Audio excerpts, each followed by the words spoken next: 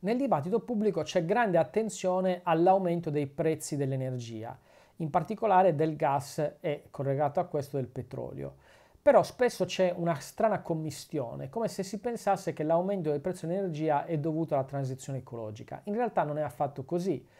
non sono i costi delle, eh, dire, delle, rinnovabili ad essere aumentati, sono il costo dei combustibili fossili. Questo dovrebbe darci una spinta ulteriore a investire sempre di più sulle rinnovabili, perché da un lato hanno un ciclo che permette di dare stabilità dei prezzi dell'energia, oltre a tutti i vantaggi da un punto di vista ambientale, ecologico, che sono fondamentali per riuscire a fermare il riscaldamento globale che anche se facciamo finta di non saperlo, mette davvero a rischio la vita sul nostro pianeta.